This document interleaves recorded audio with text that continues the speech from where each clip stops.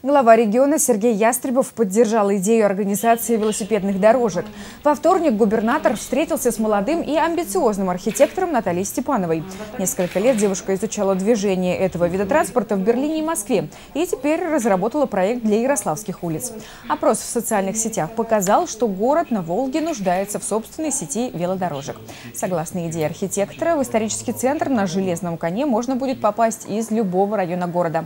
А зона ЮНЕСКО буквально опутана велосипедными дорожками. Впрочем, план на бумаге несколько отличается от реальности. Главная проблема – сделать движение велосипедов безопасным, а над этим стоит потрудиться. Однако в целом задумка пришлась главе региона по вкусу.